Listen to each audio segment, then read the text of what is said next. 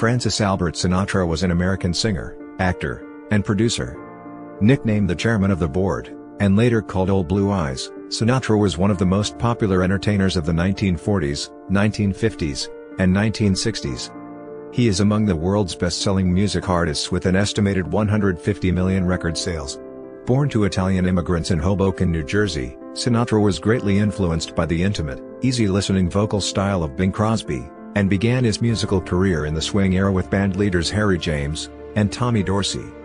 He found success as a solo artist after signing with Columbia Records in 1943, becoming the idol of the Bobby Soxers. Sinatra released his debut album, The Voice of Frank Sinatra, in 1946. When his film career stalled in the early 1950s, Sinatra turned to Las Vegas, where he became one of its best-known residency performers, and part of the famous Rat Pack. His acting career was revived by the 1953 film From Here to Eternity, which earned Sinatra an Academy Award, and a Golden Globe Award for Best Supporting Actor. Sinatra then signed with Capitol Records, and released several critically lauded albums, some of which were later considered as among the first concept albums, including In the Wee Small Hours, 1955, Songs for Swingin' Lovers, 1956, Come Fly With Me, 1958, Only the Lonely, 1958, No One Cares, 1959, and Nice and Easy, 1960. Sinatra left Capitol in 1960 to start his own record label, Reprise Records, and released a string of successful albums. In 1965, he recorded the retrospective album September of My Years, and starred in the Emmy-winning television special Frank Sinatra, A Man, and His Music. After releasing Sinatra at the Sands, recorded at the Sands Hotel and Casino in Vegas with frequent collaborator Count Basie in early 1966, the following year he recorded one of his most famous collaborations with Tom Jobim, the album Francis Albert Sinatra, and Antonio Carlos Jobim. It was followed by 1968's Francis A. and Edward K. with Duke Ellington. Sinatra retired for the first time in 1971, but came out of retirement two years later. He recorded several albums, and resumed performing at Caesars Palace, and released New York, New York in 1980. Using his Las Vegas shows as a home base, he toured within the United States, and internationally until shortly before his death in 1998. Sinatra forged a highly successful career as a film actor. After winning an Academy Award for Best Supporting Actor in From Here to Eternity, he starred in The Man with the Golden Arm, 1955, and The Manchurian Candidate, 1962.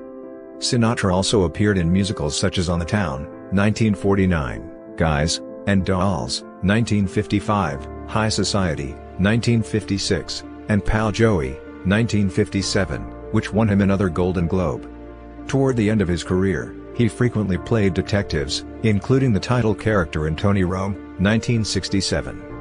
Sinatra received the Golden Globe Cecil B. DeMille Award in 1971. On television, The Frank Sinatra Show began on CBS in 1950, and he continued to make appearances on television throughout the 1950s and 1960s. While Sinatra never learned how to read music, he worked very hard from a young age to improve his abilities in all aspects of music.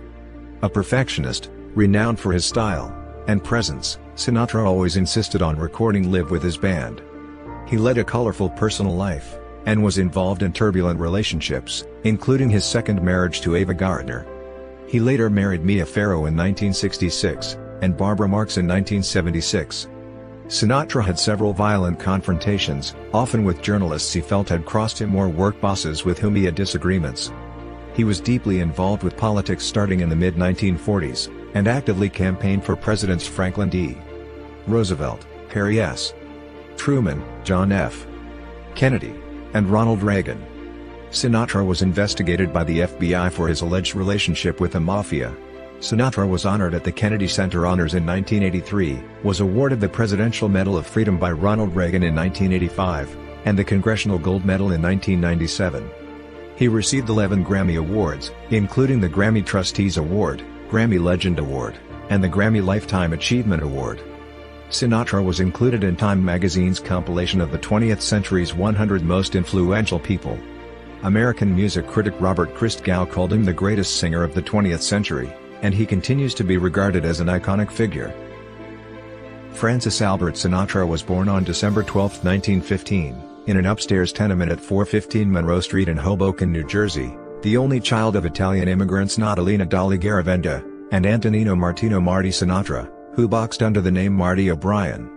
Sinatra weighed 13.5 pounds, 6.1 kilograms, at birth, and had to be delivered with the aid of forceps, which caused severe scarring to his left cheek, neck, and ear, and perforated his eardrum. Remaining damaged for the rest of his life. When he was in an unconscious state, his grandmother resuscitated him by running her grandson under cold water until he gasped his first breath. Due to his injuries at birth, his baptism at St. Francis Church in Hoboken was delayed until April 2, 1916. A childhood operation on his mastoid bone left major scarring on his neck, and during adolescence he suffered from cystic acne that further scarred his face and neck. Sinatra was raised in the Catholic Church. Sinatra's mother was energetic and driven, and biographers believe that she was the dominant factor in the development of her son's personality traits and self-confidence. Sinatra's fourth wife Barbara would later claim that Dolly was abusive to him when he was a child, and knocked him around a lot. Dolly became influential in Hoboken, and in local Democratic Party circles. She worked as a midwife, earning $50 for each delivery, and according to Sinatra biographer Kitty Kelley, also ran an illegal abortion service that catered to Italian Catholic girls, for which she was nicknamed Hatpin Dolly. She also had a gift for languages, and served as a local interpreter. Sinatra's illiterate father was a bantamweight boxer who later worked for 24 years at the Hoboken Fire Department working his way up to captain. Sinatra spent much time at his parents' tavern in Hoboken, working on his homework, and occasionally singing a song on top of the player piano for spare change. During the Great Depression, Dolly provided money to her son for outings with friends, and to buy expensive clothes, resulting in neighbors describing him as the best-dressed kid in the neighborhood. Excessively thin, and small as a child, and young man, Sinatra's skinny frame later became a staple of jokes during stage shows. At a young age, Sinatra developed an interest in music, particularly big band jazz, and listened to Gene Austin, Rudy Vallee, Russ Columbo, and Bob Eberly while idolizing Bing Crosby. For his 15th birthday, his maternal uncle, Domenico, gave him a ukulele, and with the instrument, he performed at family gatherings. Sinatra attended David E. Rue Jr. High School from 1928, and A. J. Demarest High School, since renamed as Hoboken High School, in 1931, where he arranged bands for school dances, but left without graduating after having attended only 47 days before being expelled for general rowdiness. To please his mother, he enrolled at Drake Business School, but departed after 11 months. Dolly found her son work as a delivery boy at the Jersey Observer newspaper, where his godfather Frank Garrick worked, and after that, worked as a riveter at the Tietjen and Lang shipyard. He began performing in local Hoboken social clubs such as the Cat's Meow, and the Comedy Club, and sang for free on radio stations such as WAD in Jersey City. In New York, Sinatra found jobs singing for his supper or for cigarettes. To improve his speech, he began taking elocution lessons for a dollar each from vocal coach John Quinlan, who was one of the first people to notice his impressive vocal range. Sinatra began singing professionally as a teenager, but even though he never learned to read music, he learned music by ear. He got his first break in 1935 when his mother persuaded a local singing group called the Three Flashes to let him join. Barito and Fred Tamburro stated that Frank hung around us like we were gods or something, admitting that they only took him on board because he owned a car, and could chauffeur the group around. Sinatra soon learned they were auditioning for the Major Bowes Amateur Hour Show, and begged the group to let him in on the act. With Sinatra, the group became known as the Hoboken Four and passed an audition from Edward Bowes to appear on the Major Bowes Amateur Hour Show. They each earned $12.50 for the appearance, and ended up attracting 40,000 votes before winning first prize. A six-month contract to perform on stage, and radio across the U.S., Sinatra quickly became the group's lead singer, and, much to the jealousy of his fellow group members, garnered most of the attention from girls. Due to the success of the group, Bowes kept asking for them to return, disguised under different names, varying from the Secaucus Cockamamies to the Bayonne Bacalas. In 1938, Sinatra found employment as a singing waiter at a roadhouse called the Rustic Cabin in Englewood Cliffs, New Jersey, for which he was paid $15 a week. The roadhouse was connected to the WNEW radio station in New York City, and he began performing with a group live during the Dance Parade show. Despite the low salary, Sinatra felt that this was the break he was looking for, and boasted to friends that he was going to become so big that no one could ever touch him. In March 1939, saxophone player Frank Mane, who knew Sinatra from Jersey City radio station WAAT where both performed on live broadcasts, arranged for him to audition and record Our Love, his first solo studio recording. In June, bandleader Harry James, who had heard Sinatra sing on Dance Parade, signed a two-year contract of $75 a week one evening after a show at the Paramount Theater in New York. It was with the James Band that Sinatra released his first commercial record From the Bottom of My Heart in July. No more than 8,000 copies of the record were sold, and further records released with James through 1939, such as All or Nothing at All, also had weak sales on their initial release. Thanks to his vocal training, Sinatra could now sing two tones higher, and developed a repertoire which included songs such as My Buddy, Willow Weep For Me, It's Funny to Everyone But Me, Here Comes the Night, On a Little Street in Singapore, Ciribiribin, and Every Day of My Life. Sinatra became increasingly frustrated with the status of the Harry James Band, feeling that he was not achieving the major success, and acclaim he was looking for. His pianist, and close friend Hank Sanicola persuaded him to stay with the group, but in November 1939 he left James to replace Jack Leonard as the lead singer of the Tommy Dorsey Band. Sinatra earned $125 a week, appearing at the Palmer House in Chicago, and James released Sinatra from his contract. On January 26, 1940, he made his first public appearance with the band at the Coronado Theater in Rockford, Illinois, opening the show with Stardust. Dorsey recalled, you could almost feel the excitement coming up out of the crowds when the kids stood up to sing. Remember, he was no matinee idol. He was just a skinny kid with big ears. I used to stand there so amazed I'd almost forget to take my own solos. Dorsey was a major influence on Sinatra, and became a father figure. Sinatra copied Dorsey's mannerisms and traits, becoming a demanding perfectionist like him, even adopting his hobby of toy trains. He asked Dorsey to be godfather to his daughter Nancy in June 1940. Sinatra later said that the only two people I've ever been afraid of are my mother, and Tommy Dorsey. Though Kelley says that Sinatra, and drummer Buddy Rich were bitter rivals, other authors state that they were friends, and even roommates when the band was on the road, but professional jealousy surfaced as both men wanted to be considered the star of Dorsey's band. Later, Sinatra helped Rich form his own band with a $25,000 loan and provided financial help to Rich during times of the drummer's serious illness. In his first year with Dorsey, Sinatra recorded over 40 songs. Sinatra's first vocal hit was the song Polka Dots, and Moonbeams in late April 1940. Two more chart appearances followed with Say It, and Imagination, which was Sinatra's first top 10 hit. His fourth chart appearance was I'll Never Smile Again, topping the charts for 12 weeks beginning in mid-July. Other records with Tommy Dorsey issued by RCA Victor include Our Love Affair, and Stardust in 1940. Oh.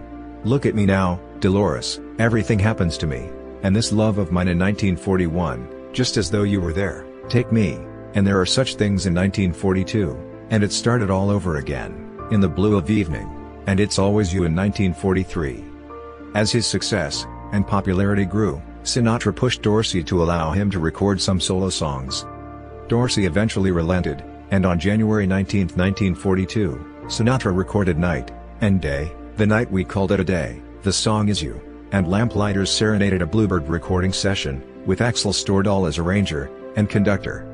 Sinatra first heard the recordings at the Hollywood Palladium and Hollywood Plaza, and was astounded at how good he sounded. Stordahl recalled, he just couldn't believe his ears. He was so excited, you almost believed he had never recorded before. I think this was a turning point in his career. I think he began to see what he might do on his own. After the 1942 recordings, Sinatra believed he needed to go solo, with an insatiable desire to compete with Bing Crosby, but he was hampered by his contract which gave Dorsey 43% of Sinatra's lifetime earnings in the entertainment industry. A legal battle ensued, eventually settled in August 1942. On September 3, 1942, Dorsey bade farewell to Sinatra, reportedly saying as Sinatra left, I hope you fall on your ass, but he was more gracious on the air when replacing Sinatra with singer Dick Haymes. Rumors began spreading in newspapers that Sinatra's mobster godfather, Willie Moretti, coerced Dorsey to let Sinatra out of his contract for a few thousand dollars, holding a gun to his head. Upon leaving Dorsey, Sinatra persuaded Stordahl to come with him, and become his personal arranger, offering him $650 a month, five times his salary from Dorsey. Dorsey, and Sinatra, who had been very close, never reconciled their differences. Up until his death in November 1956, Dorsey occasionally made biting comments about Sinatra to the press such as he's the most fascinating man in the world, but don't put your hand in the cage. Perfectly simple, it was the war years, and there was a great loneliness, and I was the boy in every corner drugstore, the boy who'd gone off drafted to the war. That's all. Sinatra, on his popularity with young women. By May 1941, Sinatra topped the male singer polls in Billboard, and Downbeat magazines. His appeal to Bobby Soxers, as teenage girls of that time were called, revealed a whole new audience for popular music, which had been recorded mainly for adults up to that time. The phenomenon became officially known as Sinatra Mania after his legendary opening at the Paramount Theater in New York on December 30, 1942. According to Nancy Sinatra, Jack Benny later said, I thought the goddamn building was going to cave in. I never heard such a commotion, all this for a fellow I never heard of. Sinatra performed for four weeks at the theater, his act following the Benny Goodman Orchestra, after which his contract was renewed for another four weeks by Bob Weitman due to his popularity. He became known as Swoonatra or The Voice, and his fans Sinatratics.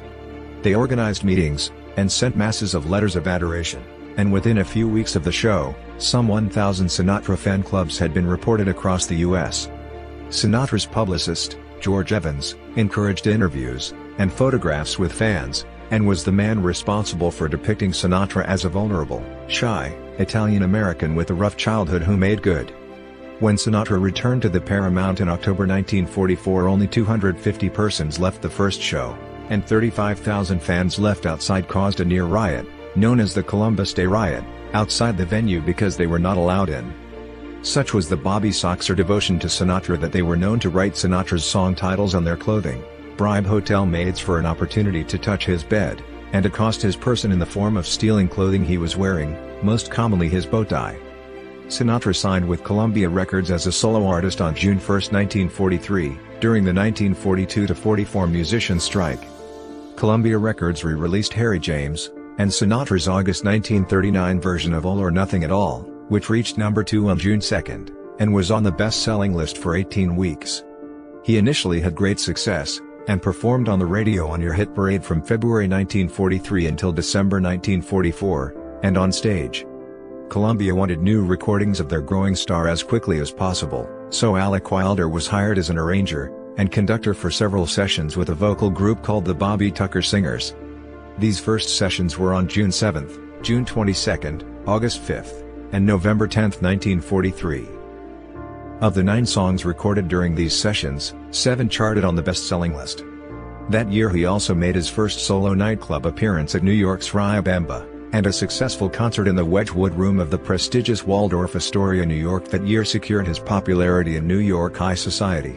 Sinatra released You'll Never Know, Close to You, Sunday, Monday, or Always, and people will say we're in love as singles. By the end of 1943 he was more popular in A Downbeat Pal than Bing Crosby, Perry Como, Bob Eberly, and Dick Haymes. Sinatra did not serve in the military during World War II. On December 11, 1943, he was officially classified 4F, registrant not acceptable for military service, by his draft board because of a perforated eardrum. However, U.S. Army files reported that Sinatra was not acceptable material from a psychiatric viewpoint, but his emotional instability was hidden to avoid undue unpleasantness for both the selectee and the induction service. Briefly, there were rumors reported by columnist Walter Winchell that Sinatra paid $40,000 to avoid the service, but the FBI found this to be without merit. Toward the end of the war, Sinatra entertained the troops during several successful overseas USO tours with comedian Phil Silvers. During one trip to Rome he met the Pope, who asked him if he was an operatic tenor. Sinatra worked frequently with the popular Andrews Sisters in radio in the 1940s, and many USO shows were broadcast to troops via the Armed Forces Radio Service, AFRS. In 1944 Sinatra released I Couldn't Sleep a Wink Last Night as a single, and recorded his own version of Crosby's White Christmas, and the following year he released I Dream of You, More Than You Dream I Do, Saturday Night, Is the Loneliest Night of the Week, Dream, and Nancy, with a Laughing Face, as singles. Despite being heavily involved in political activity in 1945 and 1946, in those two years Sinatra sang on 160 radio shows, recorded 36 times, and shot four films. By 1946 he was performing on stage up to 45 times a week, singing up to 100 songs daily, and earning up to $93,000 a week. In 1946 Sinatra released Oh! What It Seemed to Be, Day by Day, They Say It's Wonderful, 5 Minutes More, and the Coffee Song as singles, and launched his first album, The Voice of Frank Sinatra, which reached no. 1 on the Billboard chart. William Ruhlmann of AllMusic wrote that Sinatra took the material very seriously, singing the love lyrics with utter seriousness, and that is singing, and the classically influenced settings gave the songs unusual depth of meaning. He was soon selling 10 million records a year, such was Sinatra's command at Columbia that his love of conducting was indulged with the release of the set Frank Sinatra Conducts the Music of Alec Wilder, an offering unlikely to appeal to Sinatra's core fan base at the time, which consisted of teenage girls. The following year he released his second album, Songs by Sinatra, featuring songs of a similar mood, and tempo such as Irving Berlin's How Deep Is the Ocean? and Harold Arlen's, and Jerome Kern's All the Things You Are. Mam'selle, composed by Edmund Goulding with lyrics by Mack Gordon for the film The Razor's Edge, 1946, was released as a single. Sinatra had competition, versions by Art Lund, Dick Haymes, Dennis Day, and the Pied Pipers also reached the top 10 of the Billboard charts. In December he recorded Sweet Lorraine with the Metronome All-Stars, featuring talented jazz musicians such as Coleman Hawkins, Harry Carney, and Charlie Shavers, with Nat King Cole on piano, in what Charles L. Granata describes as one of the highlights of Sinatra's Columbia epic. Sinatra's third album, Christmas Songs by Sinatra, was originally released in 1948 as a 78 revolutions per minute album set, and a 10 inches LP record was released two years later.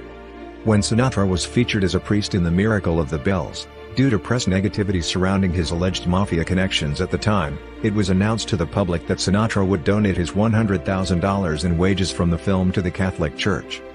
By the end of 1948, Sinatra had slipped to fourth on Downbeat's annual poll of most popular singers, behind Billy Eckstine, Frankie Laine, and Bing Crosby. And in the following year he was pushed out of the top spots in polls for the first time since 1943. Frankly Sentimental, 1949, was penned by Downbeat, who commented that for all his talent, it seldom comes to life. Though the Hucklebuck reached the top 10, it was his last single release under the Columbia label. Sinatra's last two albums with Columbia, Dedicated to You, and Sing, and Dance with Frank Sinatra, were released in 1950. Sinatra would later feature a number of the Sing, and Dance with Frank Sinatra album songs, including Lover, It's Only a Paper Moon, It All Depends on You, on his 1961 Capitol release, Sinatra's Swingin' Session. Cementing the low of his career was the death of publicist George Evans from a heart attack in January 1950 at 48. According to Jimmy Van Heusen, Sinatra's close friend, and songwriter, Evans's death to him was an enormous shock which defies words, as he had been crucial to his career, and popularity with the Bobby Soxers. Sinatra's reputation continued to decline as reports broke out in February of his affair with Ava Gardner, and the destruction of his marriage to Nancy, though he insisted that his marriage had long been over even before he had met Gardner. In April, Sinatra was engaged to perform at the Copa Club in New York but had to cancel five days of the booking due to suffering a submucosal hemorrhage of the throat. Evans once said that whenever Sinatra suffered from a bad throat, and loss of voice it was always due to emotional tension which absolutely destroyed him. In financial difficulty following his divorce, and career decline, Sinatra was forced to borrow $200,000 from Columbia to pay his back taxes after MCA refused to front the money. Rejected by Hollywood, he turned to Las Vegas, and made his debut at the Desert Inn in September 1951, and also began singing at the Riverside Hotel in Reno, Nevada. Sinatra became one of Las Vegas's pioneer residency entertainers, and a prominent figure on the Vegas scene throughout the 1950s and 1960s onwards, a period described by Rojek as the high watermark of Sinatra's hedonism and self-absorption. Rojek notes that the Rat Pack provided an outlet for gregarious banter and wisecracks, but argues that it was Sinatra's vehicle possessing an unassailable command over the other performers. Sinatra would fly to Las Vegas from Los Angeles in Van Heusen's single-engine plane. On October 4, 1953, Sinatra made his first performance at the Sands Hotel, and Casino, after an invitation by the manager Jack Entratter, who had previously worked at the Copa in New York. Sinatra typically performed there three times a year, and later acquired a share in the hotel. Sinatra's decline in popularity was evident at his concert appearances. At a brief run at the Paramount in New York he drew small audiences. At the Desert Inn in Las Vegas he performed to half-filled houses of wildcatters and ranchers. At a concert at Chez Paree in Chicago, only 150 people in a 1,200-seat capacity venue turned up to see him. By April 1952 he was performing at the Kauai County Fair in Hawaii. Sinatra's relationship with Columbia Records was also disintegrating, with A. and our executive Mitch Miller claiming he couldn't give away the singer's records, though several notable recordings were made during this time period, such as If I Could Write a Book in January 1952, which Granata sees as a turning point, forecasting his later work with its sensitivity, Columbia, and MCA dropped him later that year. His last studio recording for Columbia, Why Try to Change Me Now, was recorded in New York on September 17, 1952, with orchestra arranged, and conducted by Percy Faith. Journalist Burt Boyar observed, Sinatra had had it. It was sad. From the top to the bottom and one horrible lesson. The release of the film From Here to Eternity in August 1953 marked the beginning of a remarkable career revival. Tom Santopietro notes that Sinatra began to bury himself in his work, with an unparalleled frenetic schedule of recordings, movies, and concerts, in what authors Anthony Summers and Robbyn Swan describe as a new and brilliant phase. On March 13, 1953, Sinatra met with Capitol Records vice president Alan Livingston, and signed a seven-year recording contract. His first session for Capitol took place at KHJ Studios at Studio C, 5515 Melrose Avenue in Los Angeles, with Axel Stordahl conducting. The session produced four recordings, including I'm Walking Behind You, Sinatra's first Capitol single.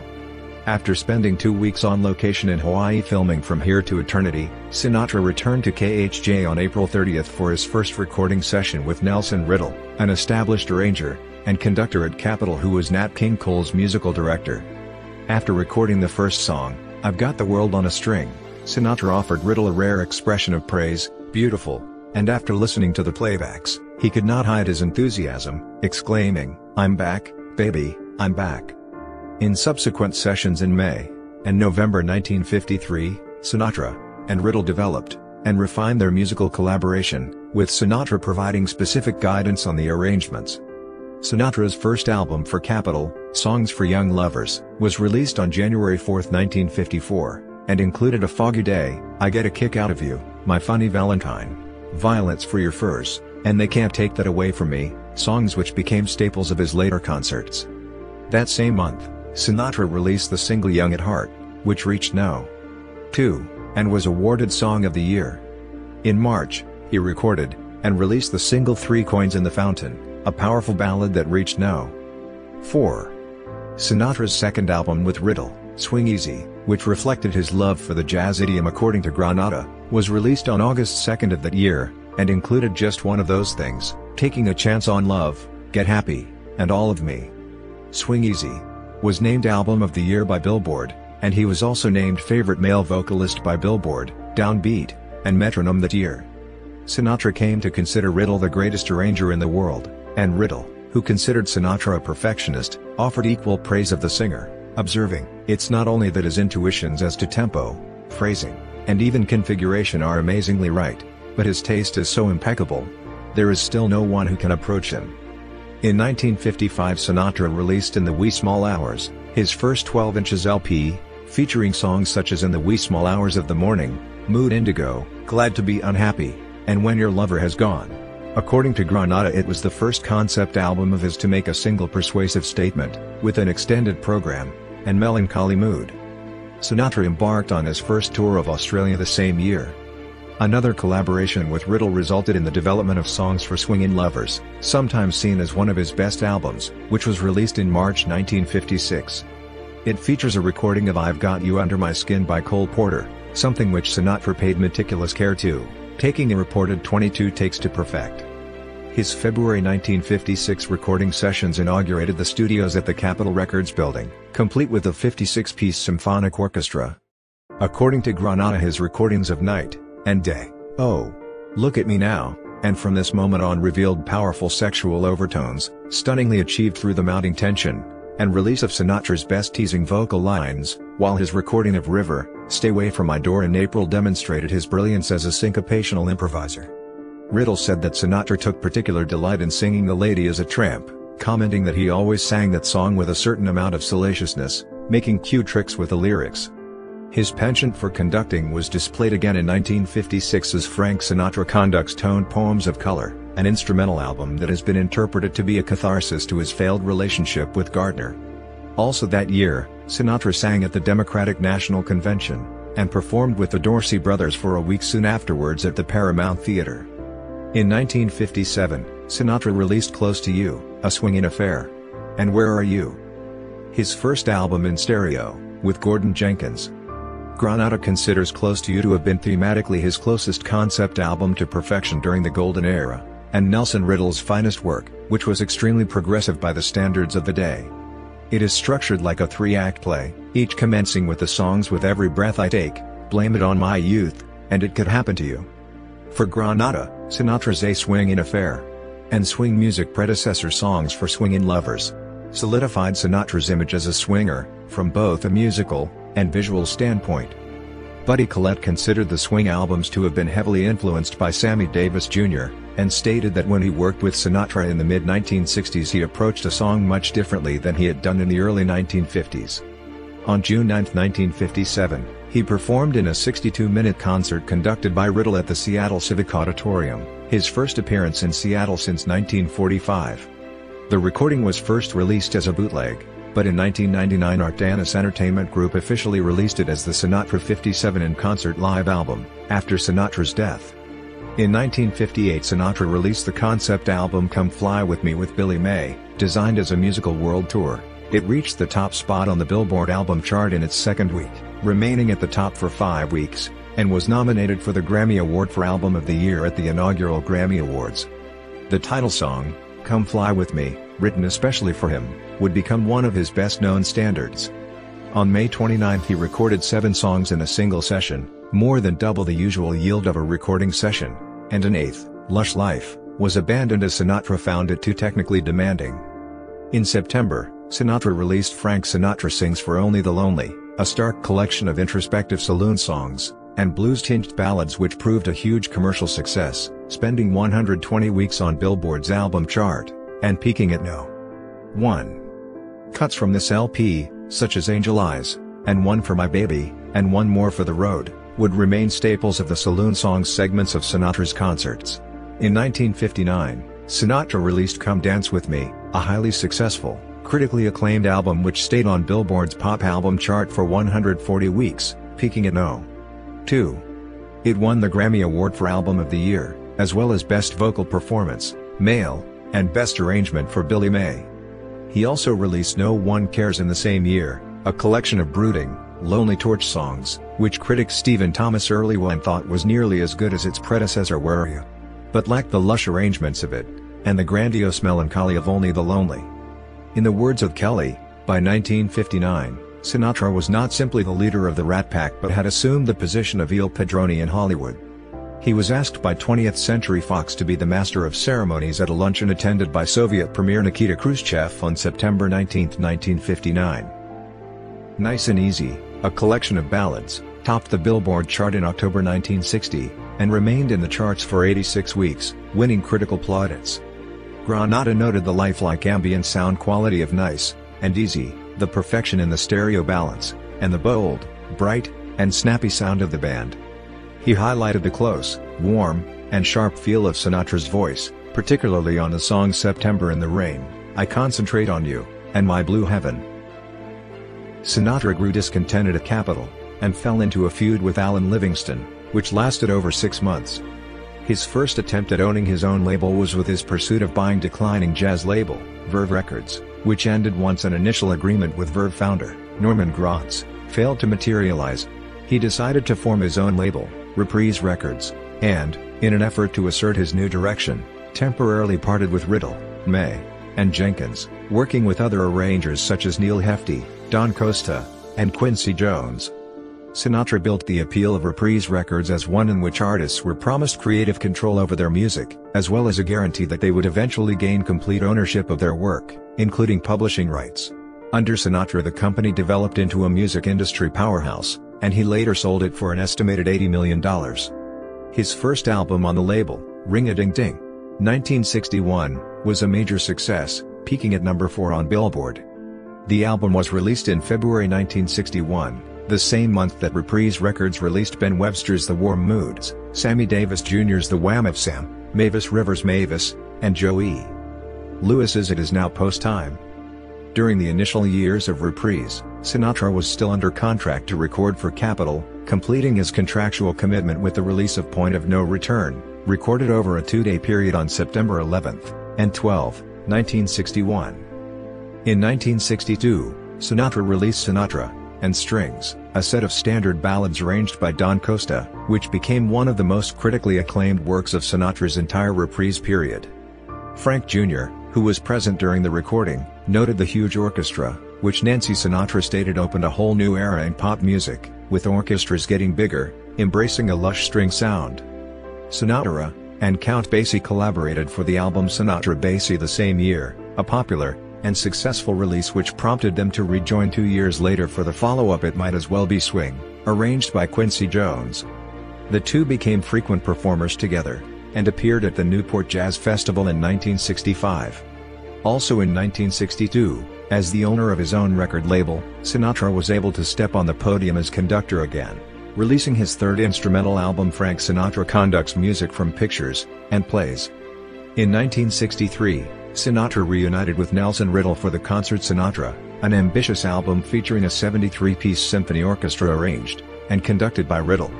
The concert was recorded on a motion picture scoring soundstage with the use of multiple synchronized recording machines that employed an optical signal onto 35mm film designed for movie soundtracks.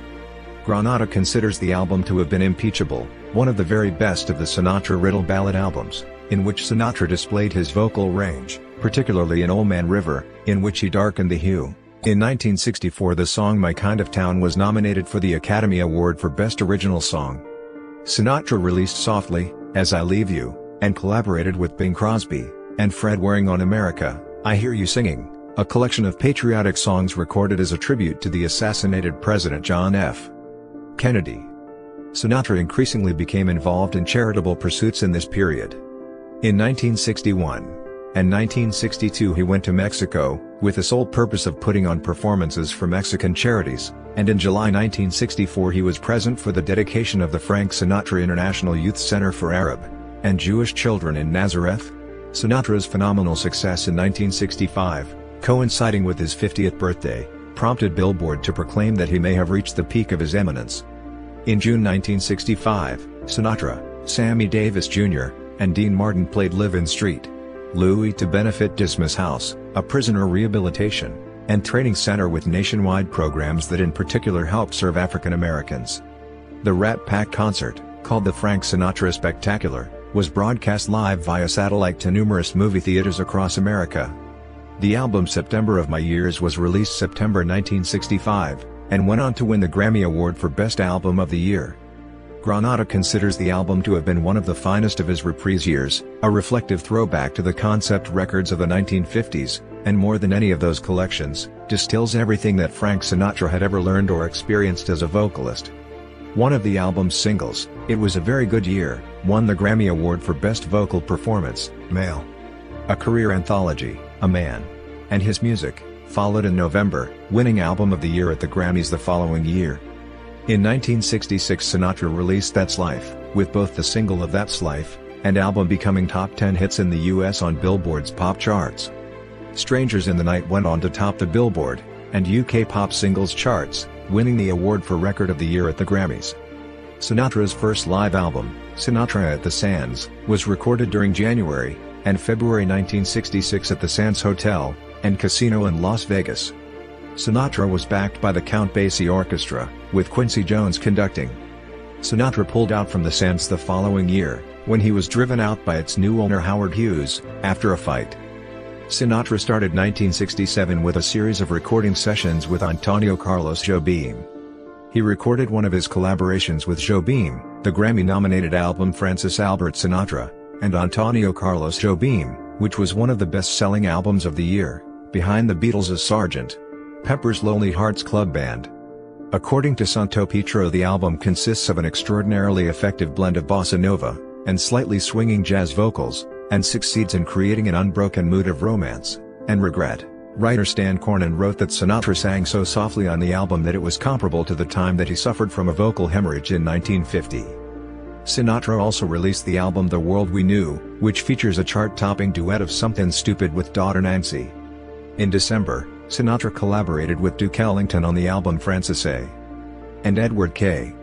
According to Granata, the recording of Indian Summer on the album was a favorite of Riddle's, noting the contemplative mood, which is heightened by a Johnny Hodges alto sax solo that will bring a tear to your eye.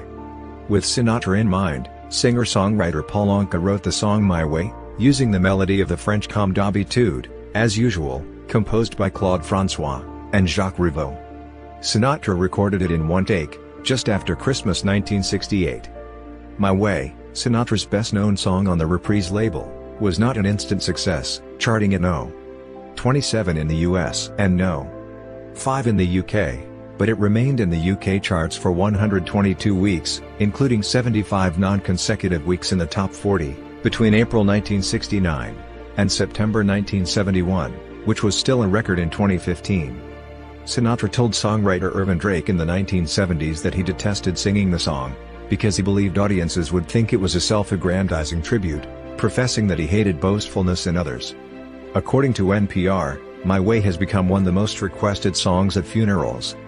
In an effort to maintain his commercial viability in the late 1960s, Sinatra would record works by Paul Simon, Mrs. Robinson, The Beatles, Yesterday, and Joni Mitchell, both sides, now, in 1969. In 1970, Sinatra released Watertown, a critically acclaimed concept album, with music by Bob Gaudio, of The Four Seasons, and lyrics by Jake Holmes. However, it sold a mere 30,000 copies that year, and reached a peak chart position of 101. He left Caesar's Palace in September that year after an incident in which executive Sanford Waterman pulled a gun on him. He performed several charity concerts with Count Basie at the Royal Festival Hall in London. On November 2, 1970, Sinatra recorded the last songs for Reprise Records before his self-imposed retirement, announced the following June at a concert in Hollywood to raise money for the Motion Picture and TV Relief Fund. He gave a rousing performance of That's Life, and finished the concert with the Matt Dennis, and Earl Brent song, Angel Eyes which he had recorded on the Only the Lonely album in 1958. He sang the last line. Excuse me while I disappear. The spotlight went dark, and he left the stage. He told Life journalist Thomas Thompson that I've got things to do, like the first thing is not to do anything at all for eight months.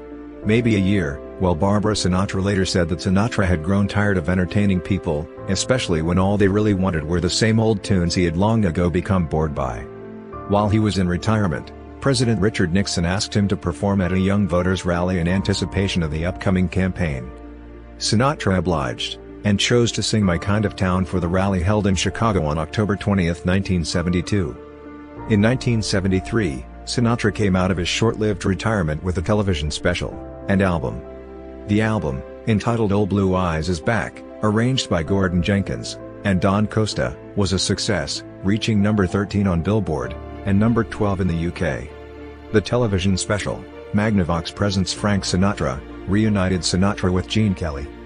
He initially developed problems with his vocal cords during the comeback due to a prolonged period without singing. That Christmas he performed at the Sahara Hotel in Las Vegas, and returned to Caesar's Palace the following month in January 1974, despite previously vowing to perform there again.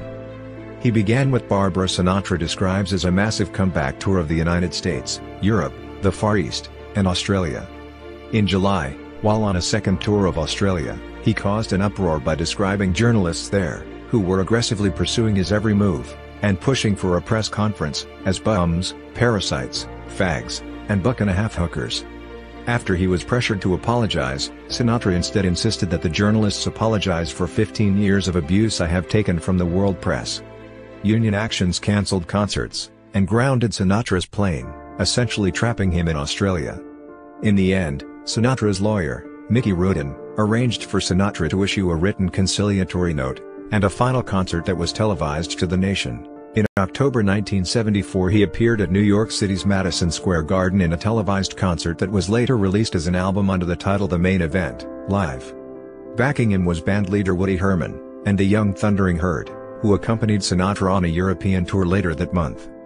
In 1975, Sinatra performed in concerts in New York with Count Basie, and Ella Fitzgerald, and at the London Palladium with Basie, and Sarah Vaughan and in Tehran at Aryamehr Stadium, giving 140 performances in 105 days.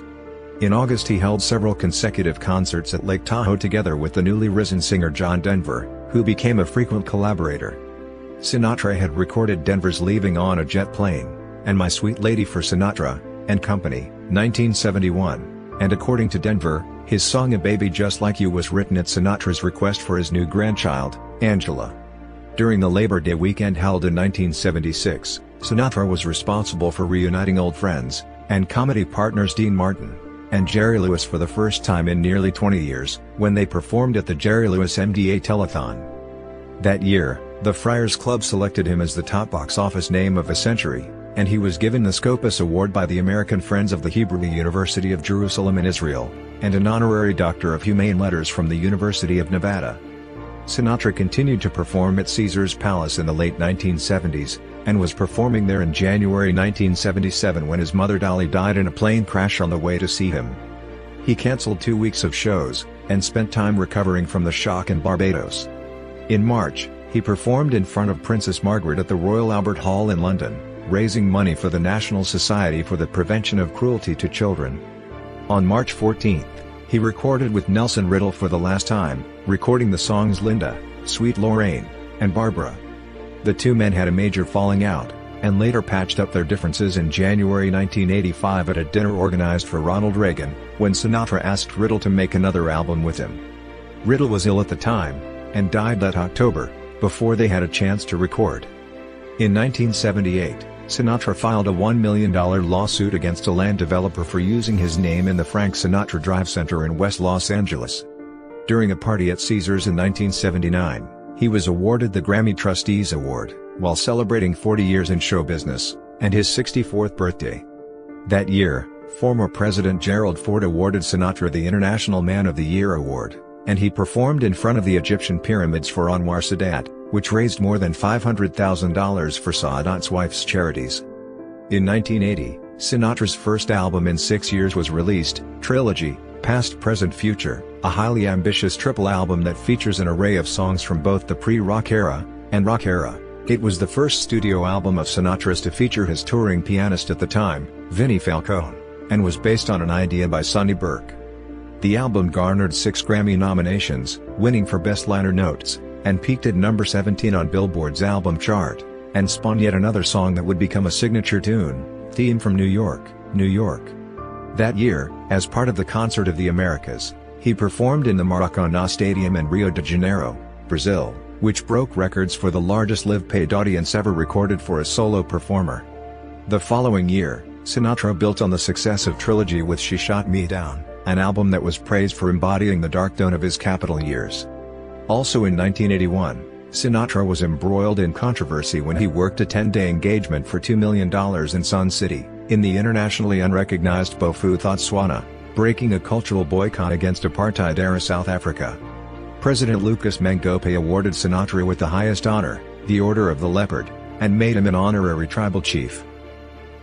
Santopietro stated that by the early 1980s, Sinatra's voice had coarsened, losing much of its power and flexibility, but audiences didn't care.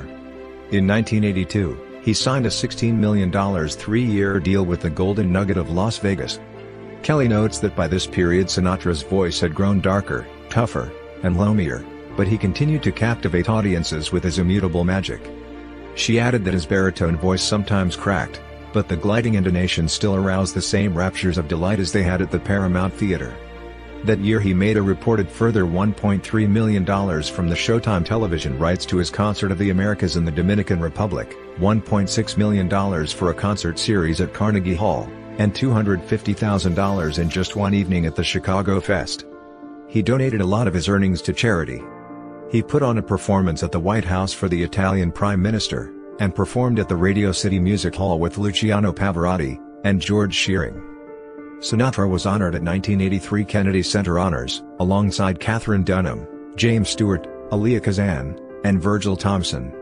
Quoting Henry James, President Reagan said in honoring his old friend that art was the shadow of humanity, and that Sinatra had spent his life casting a magnificent and powerful shadow. On September 21, 1983, Sinatra filed a $2 million court case against Kitty Kelley, suing her for punitive damages, before her unofficial biography, His Way, was even published.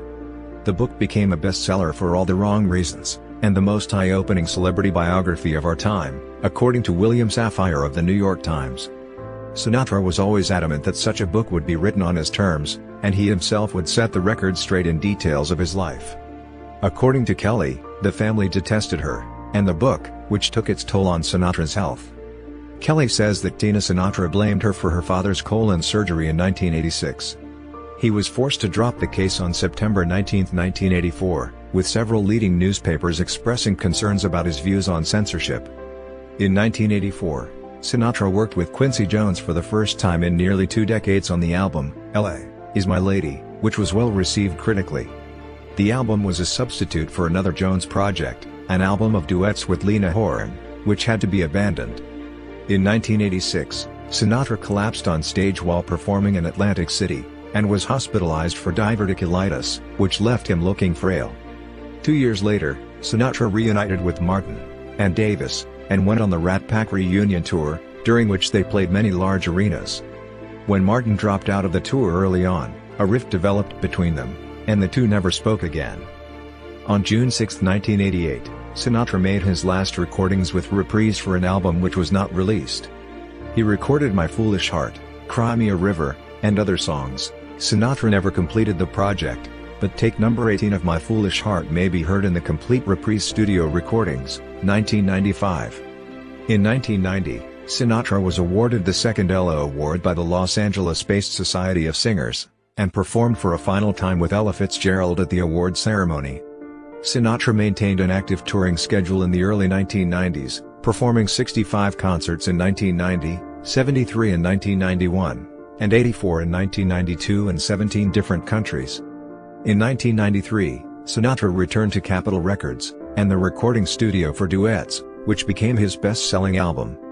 The album, and its sequel, Duets 2, released the following year, would see Sinatra remake his classic recordings with popular contemporary performers, who added their vocals to a pre-recorded tape.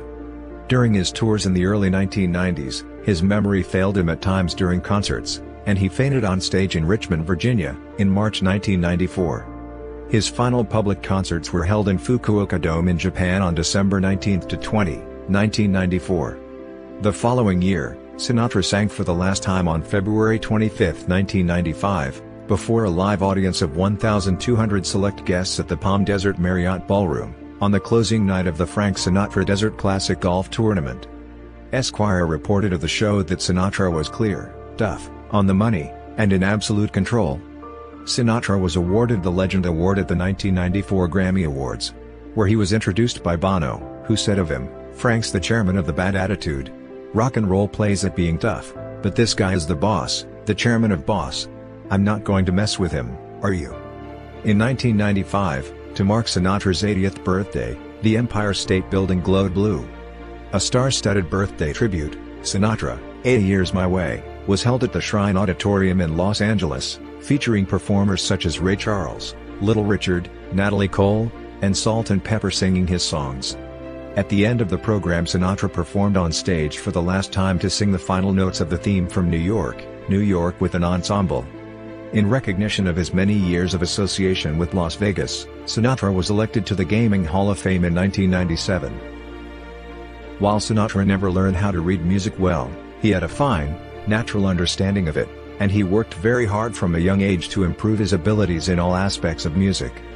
He could follow a lead sheet, simplified sheet music showing a song's basic structure, during a performance by carefully following the patterns, and groupings of notes arranged on the page, and made his own notations to the music, using his ear to detect semitonal differences. Granata states that some of the most accomplished classically trained musicians soon noticed his musical understanding, and remarked that Sinatra had a sixth sense, which demonstrated unusual proficiency when it came to detecting incorrect notes and sounds within the orchestra. Sinatra was an aficionado of classical music, and would often request classical strains in his music, inspired by composers such as Puccini, and Impressionist masters. His personal favorite was Ralph Vaughan Williams. He would insist on always recording live with the band because it gave him a certain feeling to perform live surrounded by musicians. By the mid-1940s, such was his understanding of music that after hearing an air check of some compositions by Alec Wilder which were for strings and woodwinds, he became the conductor at Columbia Records for six of Wilder's compositions, Air for Oboe, Air for English Horn, Air for Flute, Air for Bassoon, Slow Dance, and Theme, and Variations. The works, which combine elements of jazz and classical music, were considered by Wilder to have been among the finest renditions, and recordings of his compositions, past or present. At one recording session with arranger Claus Ogerman, and an orchestra, Sinatra heard a couple of little strangers in the string section, prompting Ogerman to make corrections to what were thought to be copyist's errors.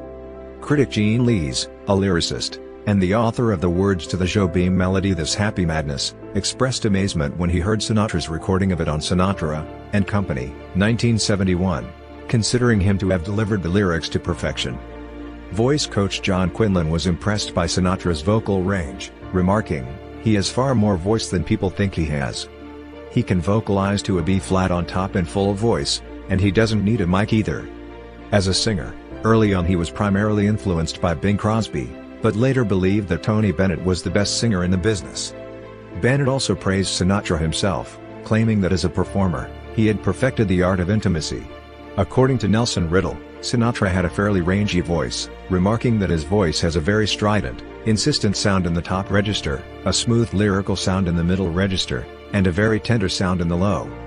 His voice is built on infinite taste, with an overall inflection of sex. He points everything he does from a sexual standpoint, despite his heavy New Jersey accent, according to Richard Schuller, when Sinatra sang his accent was barely detectable, with his diction becoming precise, and articulation meticulous. His timing was impeccable, allowing him, according to Charles L. Granata, to toy with the rhythm of a melody, bringing tremendous excitement to his reading of a lyric. Tommy Dorsey observed that Sinatra would take a musical phrase, and play it all the way through seemingly without breathing for 8, 10, maybe 16 bars. Dorsey was a considerable influence on Sinatra's techniques for his vocal phrasing with his own exceptional breath control on the trombone, and Sinatra regularly swam, and held his breath underwater, thinking of song lyrics to increase his breathing power. Arrangers such as Nelson Riddle and Anthony Fanzo found Sinatra to be a perfectionist who constantly drove himself and others around him, stating that his collaborators approached him with a sense of uneasiness because of his unpredictable and often volatile temperament. Granata comments that Sinatra was almost fanatically obsessed with perfection to the point that people began wondering if he was genuinely concerned about the music or showing off his power over others. On days when he felt that his voice was not right, he would know after only a few notes, and would postpone the recording session until the following day, yet still pay his musicians. After a period of performing, Sinatra tired of singing a certain set of songs, and was always looking for talented new songwriters, and composers to work with. Once he found ones that he liked, he actively sought to work with them as often as he could, and made friends with many of them. He once told Sammy Cahn, who wrote songs for Anchors Aweigh, if you're not there Monday, I'm not there Monday. Over the years he recorded 87 of Cahn's songs, of which 24 were composed by Jule Styne, and 43 by Jimmy Van Heusen. The Cahn-Styne partnership lasted from 1942 until 1954, when Van Heusen succeeded him as Sinatra's main composer. Unlike many of his contemporaries, Sinatra insisted upon direct input regarding arrangements and tempos for his recordings.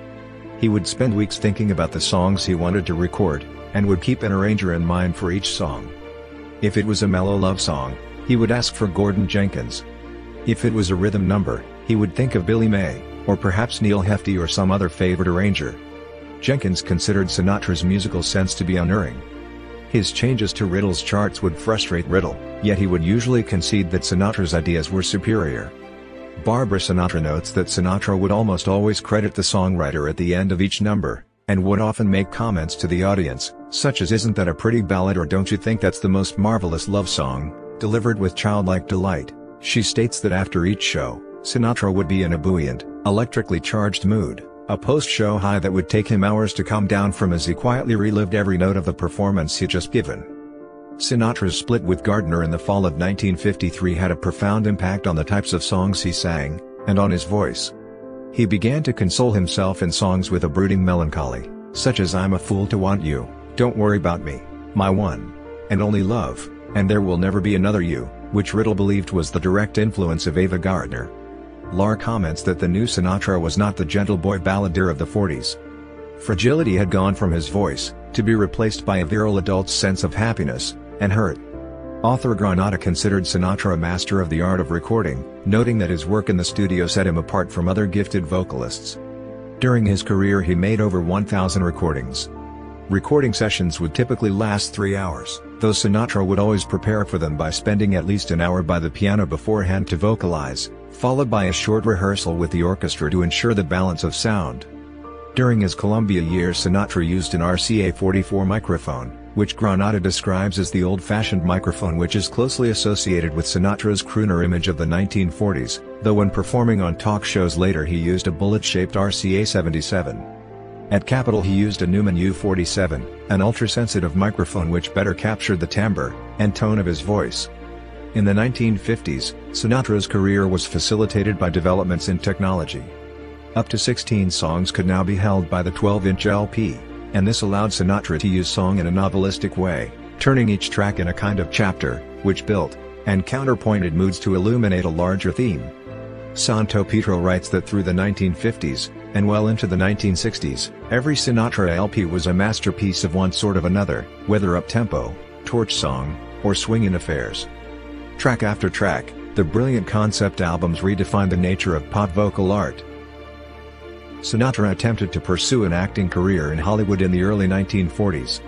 While films appealed to him, being exceptionally self-confident, he was rarely enthusiastic about his own acting, once remarking that pictures stink. Sinatra made his film debut performing in an uncredited sequence in Las Vegas Nights, 1941, singing I'll Never Smile Again with Tommy Dorsey's Pied Pipers.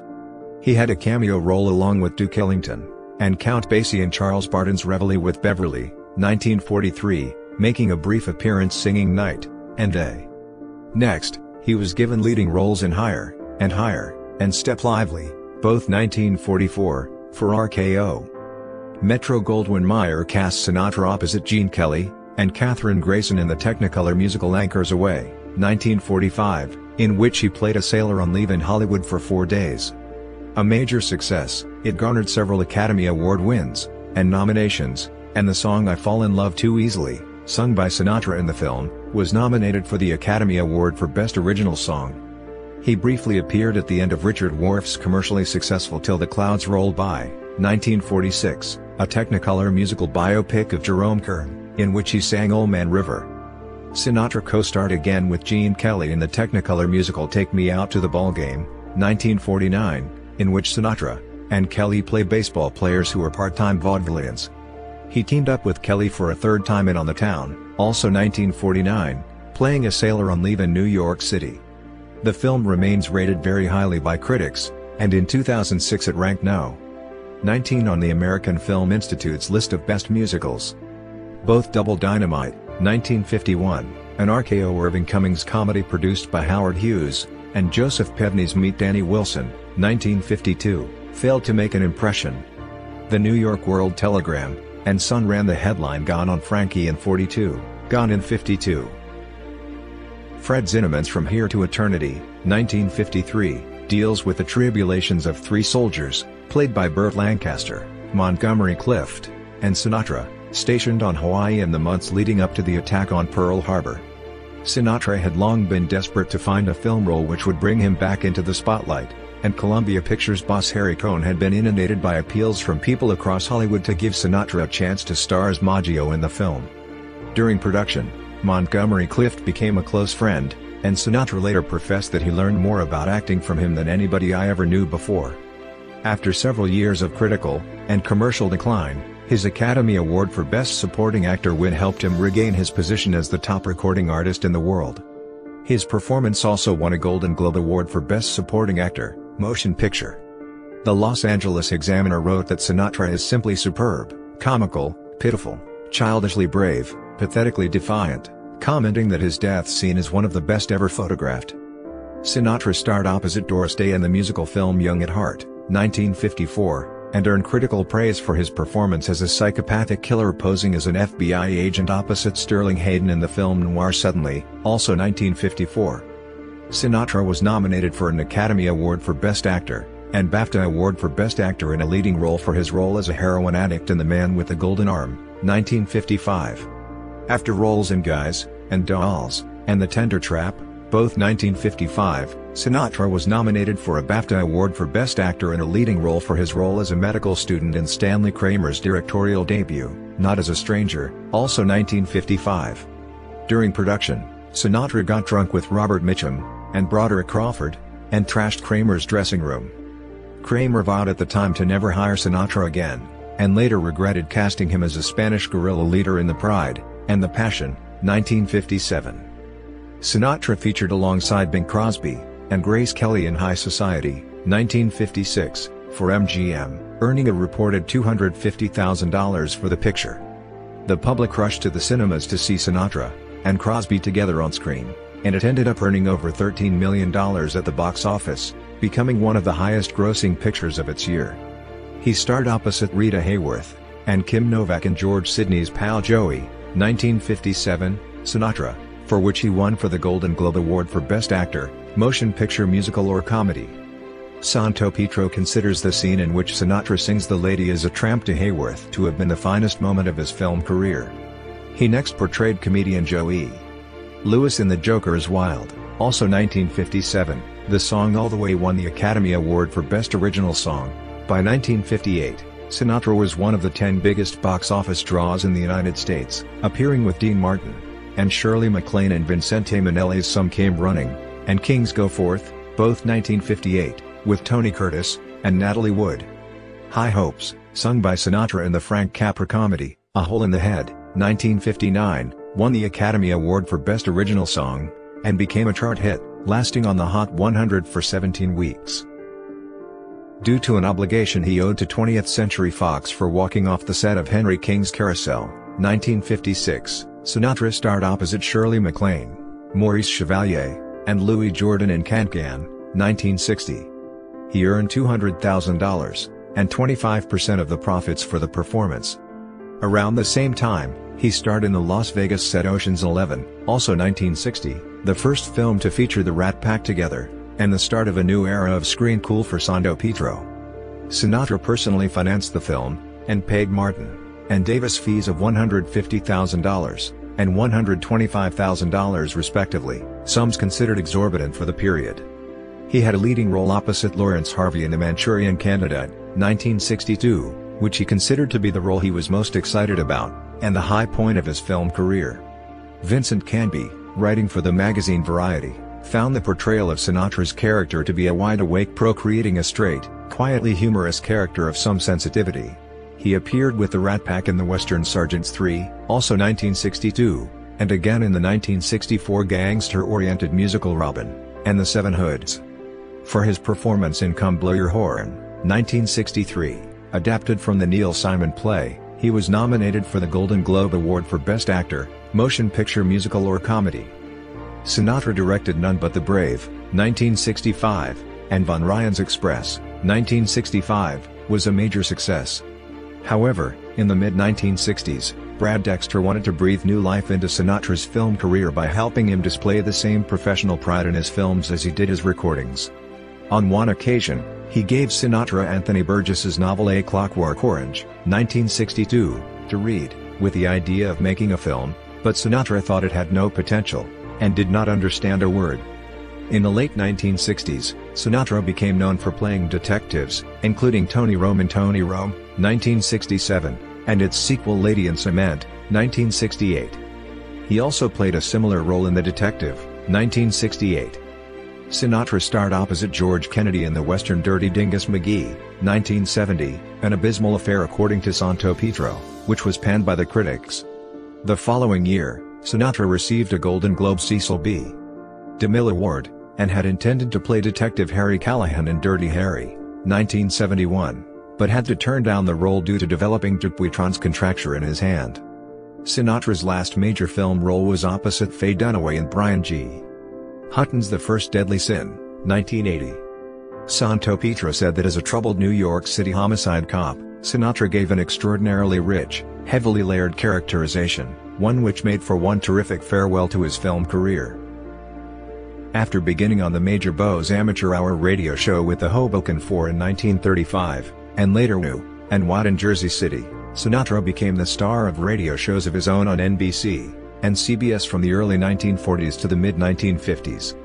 In 1942, Sinatra hired arranger Axel Stordahl away from Tommy Dorsey before he began his first radio program that year, keeping Stordahl with him for all of his radio work. By the end of 1942, he was named the most popular male vocalist on radio in a downbeat poll. Early on he frequently worked with the Andrews sisters on radio, and they would appear as guests on each other's shows, as well as on many USO shows broadcast to troops via the Armed Forces Radio Service, AFRS. He appeared as a special guest in the Sisters' ABC Eight to the Bar Ranch series, while the trio in turn guested on his Songs by Sinatra series on CBS. Sinatra had two stints as a regular member of cast of Your Hit Parade, his first was from 1943 to 1945, and second was from 1946 to May 28, 1949, during which he was paired with the then new girl singer, Doris Day. Starting in September 1949, the BBD, and O Advertising Agency produced a radio series starring Sinatra for Lucky Strike called Light Up Time, some 176 15-minute shows which featured Frank and Dorothy Kirsten singing, which lasted through to May 1950. In October 1951, the second season of The Frank Sinatra Show began on CBS television. Ultimately, Sinatra did not find the success on television for which he had hoped. Santopietro writes that Sinatra simply never appeared fully at ease on his own television series, his edgy, impatient personality conveying a pent-up energy on the verge of exploding. In 1953, Sinatra starred in the NBC radio program Rocky Fortune, portraying Rocco Fortunato, aka Rocky Fortune, a footloose and fancy-free temporary worker for the Gridley Employment Agency who stumbles into crime solving. The series aired on NBC Radio Tuesday nights from October 1953 to March 1954. In 1957, Sinatra formed a three-year $3 million contract with ABC to launch The Frank Sinatra Show, featuring himself, and guests in 36 half-hour shows. ABC agreed to allow Sinatra's Hobart Productions to keep 60% of the residuals, and bought stock in Sinatra's film production unit, Kent Productions, guaranteeing him $7 million. Though an initial critical success upon its debut on October 18, 1957, it soon attracted negative reviews from Variety, and The New Republic, and the Chicago Sun-Times thought that Sinatra, and frequent guest Dean Martin performed like a pair of adult delinquents, sharing the same cigarette, and leering at girls. In return, Sinatra later made numerous appearances on The Dean Martin Show, and Martin's TV specials. Sinatra's fourth, and final Timex TV special, Welcome Home Elvis, was broadcast in March 1960, earning massive viewing figures. During the show, he performed a duet with Presley, who sang Sinatra's 1957 hit Witchcraft with the host performing the 1956 Presley classic Love Me Tender. Sinatra had previously been highly critical of Elvis Presley, and rock, and roll in the 1950s, describing it as a deplorable, a rancid-smelling aphrodisiac which fosters almost totally negative, and destructive reactions in young people. A CBS News special about the singer's 50th birthday, Frank Sinatra, a man, and his music, was broadcast on November 16, 1965, and garnered both an Emmy Award, and a Peabody Award. According his musical collaboration with Jobim, and Ella Fitzgerald in 1967, Sinatra appeared in the TV special, A Man. And his music plus Ella plus Jobim, which was broadcast on CBS on November 13. When Sinatra came out of retirement in 1973, he released both an album, and appeared in a TV special named Old Blue Eyes is Back. The TV special was highlighted by a dramatic reading of Send in the Clowns, and a song and dance sequence with former co-star Gene Kelly. In the late 1970s, John Denver appeared as a guest in the Sinatra and Friends ABC TV special, singing September Song as a duet. Sinatra starred as a detective in Contract on Cherry Street, 1977, cited as his one starring role in a dramatic television film. Ten years later, he made a guest appearance opposite Tom Selleck in Magnum, P.I., playing a retired policeman who teams up with Selleck to find his granddaughter's murderer. Shot in January 1987, the episode aired on CBS on February 25. Sinatra had three children, Nancy, born 1940, Frank Jr., 1944 to 2016, and Tina, born 1948, with his first wife, Nancy Sinatra, née Barbato, 1917-2018, to whom he was married from 1939 to 1951. Sinatra had met Barbato in Long Branch, New Jersey in the summer of 1934, while working as a lifeguard. He agreed to marry her after an incident at the rustic cabin which led to his arrest. Sinatra had numerous extramarital affairs, and gossip magazines published details of affairs with women including Marilyn Maxwell, Lana Turner, and Joi Lansing. Sinatra was married to Hollywood actress Ava Gardner from 1951 to 1957. It was a turbulent marriage with many well-publicized fights and altercations. The couple formally announced their separation on October 29, 1953, through MGM. Gardner filed for divorce in June 1954, at a time when she was dating Matador Luis Miguel Dominguin, but the divorce was not settled until 1957. Sinatra continued to feel very strongly for her, and they remained friends for life. He was still dealing with her finances in 1976. Sinatra reportedly broke off engagements to Lauren Bacall in 1958, and Juliet Prowse in 1962. He was also romantically linked to Pat Sheehan, Vicki Dugan, and Kip Hamilton. He married Mia Farrow on July 19, 1966, a short marriage that ended with divorce in Mexico in August 1968.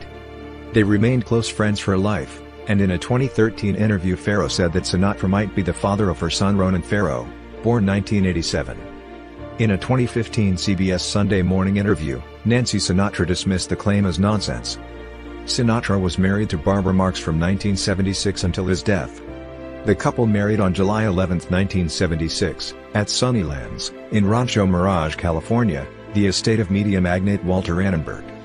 Sinatra was close friends with Jilly Rizzo, songwriter Jimmy Van Heusen, golfer Ken Venturi, comedian Pat Henry, and baseball manager Leo Durocher. In his spare time, he enjoyed listening to classical music, and attended concerts when he could. He swam daily in the Pacific Ocean, finding it to be therapeutic, and giving him much-needed solitude. He often played golf with Venturi at the course in Palm Springs, where he lived, and liked painting, reading, and building model railways. Though Sinatra was critical of the church on numerous occasions, and had a pantheistic, Einstein-like view of God in his earlier life, he was inducted into the Catholic Sovereign Military Order of Malta in 1976, and he turned to Catholicism for healing after his mother died in a plane crash in 1977. He died as a practicing Catholic, and had a Catholic burial. Sinatra was known for his immaculate sense of style. He spent lavishly on expensive custom-tailored tuxedos, and stylish pinstriped suits, which made him feel wealthy, and important, and that he was giving his very best to the audience. He was also obsessed with cleanliness. While with the Tommy Dorsey Band he developed the nickname Lady Macbeth, because of frequent showering, and switching his outfits. His deep blue eyes earned him the popular nickname Old Blue Eyes. For Santopietro, Sinatra was the personification of America in the 1950s, cocky, eye on the main chance, optimistic, and full of the sense of possibility. Barbara Sinatra wrote, a big part of Frank's thrill was the sense of danger that he exuded, an underlying, ever-present tension only those closest to him knew could be diffused with humor. Cary Grant, a friend of Sinatra, stated that Sinatra was the most honest person he'd ever met, who spoke a simple truth, without artifice which scared people, and was often moved to tears by his performances. Jo Carroll Dennison commented that he possessed great inner strength, and that his energy and drive were enormous. A workaholic, he reportedly only slept four hours a night on average. Throughout his life, Sinatra had mood swings, and bouts of mild to severe depression, stating to an interviewer in the 1950s that I have an overacute capacity for sadness as well as elation. Barbara Sinatra stated that he would snap at anyone for the slightest misdemeanor, while Van Heusen said that when Sinatra got drunk it was best to disappear. Sinatra's mood swings often developed into violence, directed at people he felt had crossed him, particularly journalists who gave him scathing reviews, publicists, and photographers. According to Rojek he was capable of deeply offensive behavior that smacked of a persecution complex. He received negative press for fights with Lee Mortimer in 1947, photographer Eddie Shisser in Houston in 1950, Judy Garland's publicist Jim Byron on the Sunset Strip in 1954, and for a confrontation with Washington Post journalist Maxine Cheshire in 1973, in which he implied that she was a cheap prostitute. His feud with then Chicago Sun-Times columnist Mike Royko began when Royko wrote a column questioning why Chicago police offered free protection to Sinatra when the singer had his own security. Sinatra fired off an angry letter in response calling Royko a pimp and threatening to punch you in the mouth for speculating that he wore a toupee. Royko auctioned the letter, the proceeds going to the Salvation Army. The winner of the auction was Vi Carlson, mother of Bunny Carlos of the rock group Cheap Trick. After appearing on Antiques Roadshow, Carlson consigned the letter to Freeman's Auctioneers and Appraisers, which auctioned it in 2010. Sinatra was also known for his generosity, particularly after his comeback. Kelley notes that when Lee J. Cobb nearly died from a heart attack in June 1955, Sinatra flooded him with books, flowers, delicacies, paid his hospital bills, and visited him daily, telling him that his finest acting was yet to come. In another instance, after an argument with manager Bobby Burns, rather than apologize, Sinatra bought him a brand new Cadillac. Sinatra became the stereotype of the tough working class Italian American, something which he embraced. He said that if it had not been for his interest in music, he would have likely ended up in a life of crime. Willie Moretti was Sinatra's godfather, and the notorious underboss of the Genovese crime family, and he helped Sinatra in exchange for kickbacks, and was reported to have intervened in releasing Sinatra from his contract with Tommy Dorsey. Sinatra was present at the Mafia Havana conference in 1946, and the press learned of his being there with Lucky Luciano. One newspaper published the headline Shame, Sinatra. He was reported to be a good friend of mobster Sam Giancana, and the two men were seen playing golf together. Kelley quotes Jo Carroll Silvers that Sinatra adored Bugsy Siegel, and boasted to friends about him, and how many people Siegel had killed. Kelley says that Sinatra, and mobster Joseph Fischetti had been good friends from 1938 onward, and acted like Sicilian brothers. She also states that Sinatra, and Hank Sanicola were financial partners with Mickey Cohen in the gossip magazine Hollywood Nightlife. The FBI kept records amounting to 2,403 pages on Sinatra, who was a natural target with his alleged mafia ties, his ardent New Deal politics, and his friendship with John F. Kennedy. The FBI kept him under surveillance for almost five decades beginning in the 1940s. The documents include accounts of Sinatra as the target of death threats and extortion schemes. The FBI documented that Sinatra was losing esteem with the mafia as he grew closer to President Kennedy, whose younger brother Attorney General Robert F. Kennedy was leading a crackdown on organized crime. Sinatra said he was not involved, any report that I fraternized with goons or racketeers is a vicious lie. In 1960, Sinatra bought a share in the Cal Neva Lodge and Casino, a casino hotel that straddles the California-Nevada state line on the north shores of Lake Tahoe. Sinatra built the Celebrity Room Theater which attracted his show business friends Red Skelton, Marilyn Monroe, Victor Borge, Joey Lewis, Lucille Ball, Lena Horne, Juliet Prowse, the McGuire sisters, and others. By 1962, he reportedly held a 50% share in the hotel. Sinatra's gambling license was temporarily stripped by the Nevada Gaming Control Board in 1963 after Giancana was spotted on the premises. Due to ongoing pressure from the FBI and Nevada Gaming Commission on mobster control of casinos, Sinatra agreed to give up his share in Cal Neva and the Sands. That year, his son Frank Jr. was kidnapped but was eventually released unharmed. Sinatra's gambling license was restored in February 1981, following support from Ronald Reagan. Sinatra held varied political views throughout his life. His mother, Dolly Sinatra, 1896-1977, was a Democratic Party ward leader, and after meeting President Franklin D. Roosevelt in 1944, he subsequently heavily campaigned for the Democrats in the 1944 presidential election. According to Jo Carroll Silvers, in his younger years Sinatra had ardent liberal sympathies, and was so concerned about poor people that he was always quoting Henry Wallace. He was outspoken against racism, particularly toward black people, and Italians, from a young age. In the early 1950s, he was among those who campaigned to combine the racially segregated musicians' unions in Los Angeles.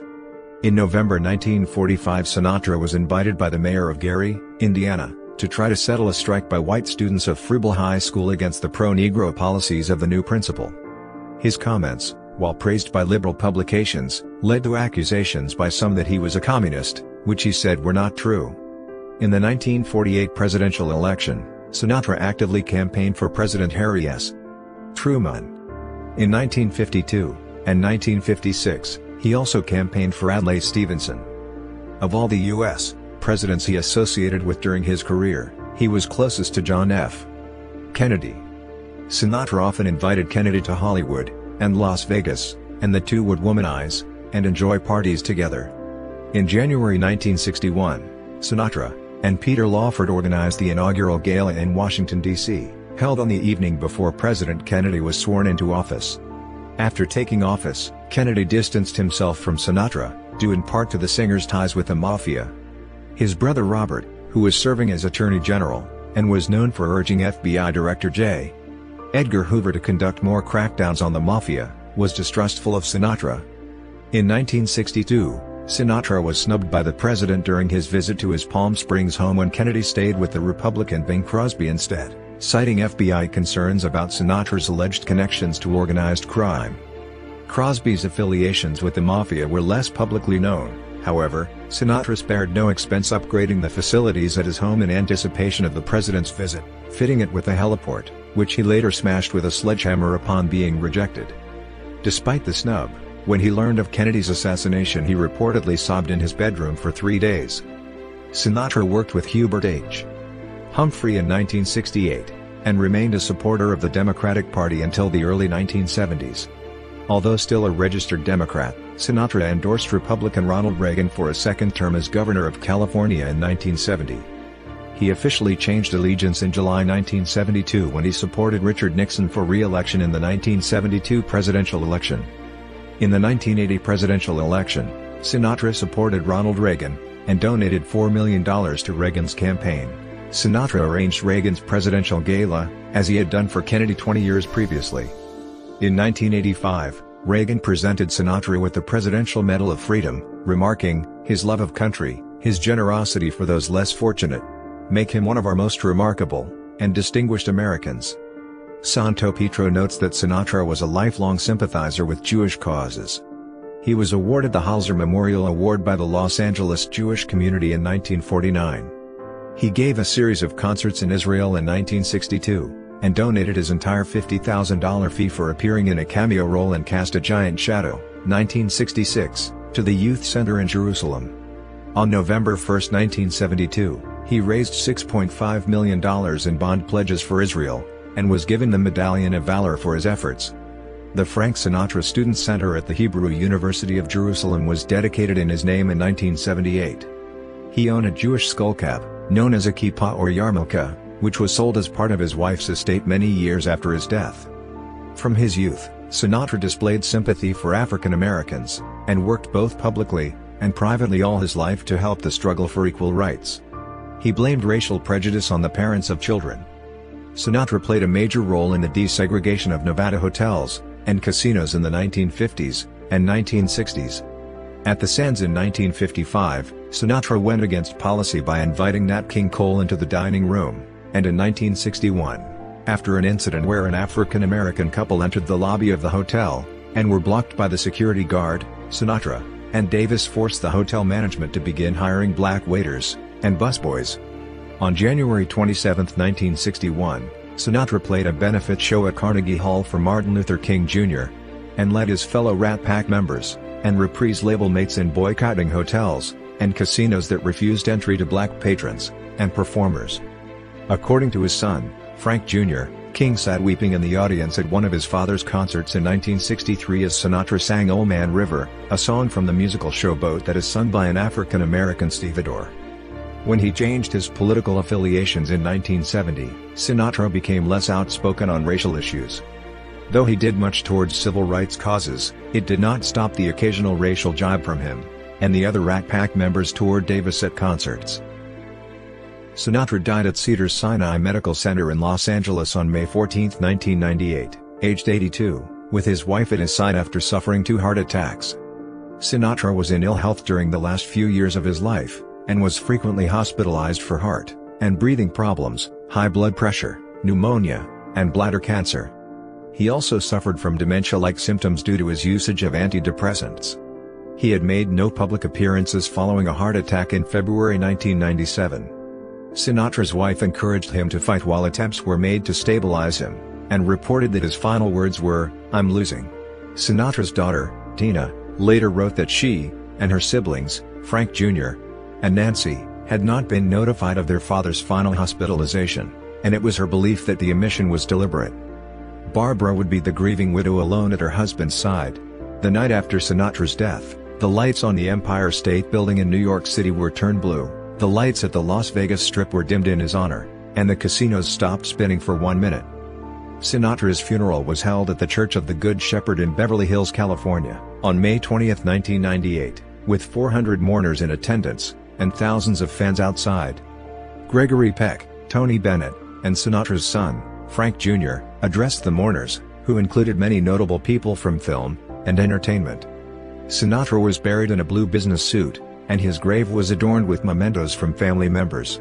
Cherry-flavored lifesavers, Tootsie Rolls, a bottle of Jack Daniels, a pack of Camel cigarettes, a Zippo lighter, stuffed toys, a dog biscuit, and a roll of dimes that he always carried. Next to his parents in Section B8 of Desert Memorial Park in Cathedral City, California. His close friends Jilly Rizzo and Jimmy Van Heusen are buried nearby. The words the best is yet to come plus beloved husband, and father were imprinted on Sinatra's original grave marker. Sinatra's gravestone was changed under mysterious circumstances according to the magazine Palm Springs Life. The grave currently reads Sleep Warm Papa. Significant increases in recording sales worldwide were reported by Billboard in the month of his death. Throughout his professional career, Sinatra recorded more than 1,300 songs, and participated in more than 50 films. He was called the chairman of the board. He was responsible for awakening a fan phenomenon made up of hysterical teenage girls called Bobby Soxers, who were portrayed as very enthusiastic to the point of hysteria. Newspapers at the time highlighted the Bobby Soxers' great fanaticism and passion for Sinatra, they experienced hunger, fatigue, and dizziness while waiting in line to see him. The United States Postal Service issued a 42-cent postage stamp honoring Sinatra in May 2008, commemorating the 10th anniversary of his death. May 13 is considered Frank Sinatra Day. In Frank Sinatra Park, a 6-foot, 1.80-meter, tall bronze statue honoring Sinatra was erected in the year 2021 on December 12. There are also several streets and highways in the U.S. named after Sinatra. Robert Christgau referred to Sinatra as the greatest singer of the 20th century. His popularity is matched only by Bing Crosby, Elvis Presley, the Beatles, and Michael Jackson. For Santopietro, Sinatra was the greatest male pop singer in the history of America, who amassed unprecedented power on screen, and off, and seemed to exemplify the common man, an ethnic 20th-century American male who reached the top of the heap, yet never forgot his roots. Santopietro argues that Sinatra created his own world, which he was able to dominate. His career was centered around power, perfecting the ability to capture an audience. Encyclopedia Britannica referred to Sinatra as often hailed as the greatest American singer of 20th century popular music. Through his life, and his art, he transcended the status of mere icon to become one of the most recognizable symbols of American culture. Gus Levene commented that Sinatra's strength was that when it came to lyrics, telling a story musically, Sinatra displayed a genius ability, and feeling, which with the rare combination of voice, and showmanship made him the original singer which others who followed most tried to emulate. George Roberts, a trombonist in Sinatra's band, remarked that Sinatra had a charisma, or whatever it is about him, that no one else had. Biographer Arnold Shaw considered that if Las Vegas had not existed, Sinatra could have invented it. He quoted reporter James Bacon in saying that Sinatra was the swinging image on which the town is built, adding that no other entertainer quite embodied the glamour associated with Las Vegas as him. Sinatra continues to be seen as one of the icons of the 20th century, and has three stars on the Hollywood Walk of Fame for his work in film and music. There are stars on east and west sides of the 1600 block of Vine Street respectively, and one on the south side of the 6500 block of Hollywood Boulevard for his work in television. In Sinatra's native Hoboken, he was awarded the key to the city of by Mayor Fred M. DeSapio on October 30, 1947. In 2003 the city's main post office was rededicated in his honor. A bronze plaque, placed two years before Sinatra's death in 1998, marks the site of the house where he was born.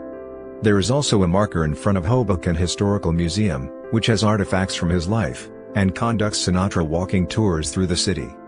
Frank Sinatra Drive runs parallel to the Hudson River waterfront walkway. On the waterfront is Frank Sinatra Park, where a bronze plaque was placed in 1989 upon its opening.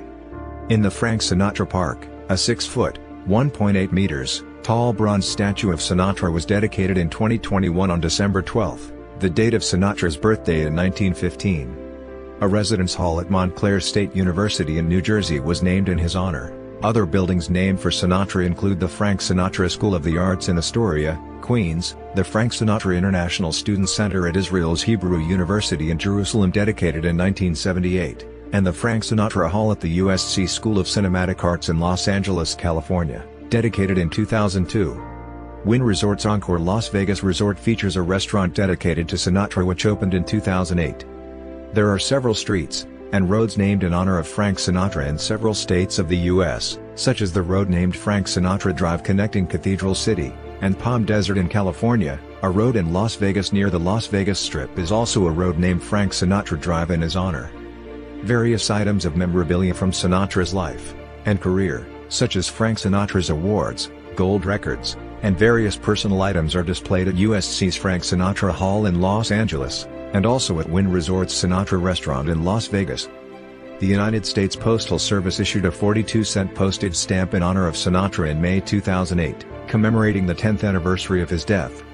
The United States Congress passed a resolution introduced by Representative Mary Bono Mack on May 20, 2008, designating May 13 as Frank Sinatra Day to honor his contributions to American culture. Sinatra received three honorary degrees during his lifetime. In May 1976, he was invited to speak at the University of Nevada, Las Vegas, UNLV, graduation commencement held at Sam Boyd Stadium. It was at this commencement that he was bestowed an honorary doctorate literarum humanarum by the university.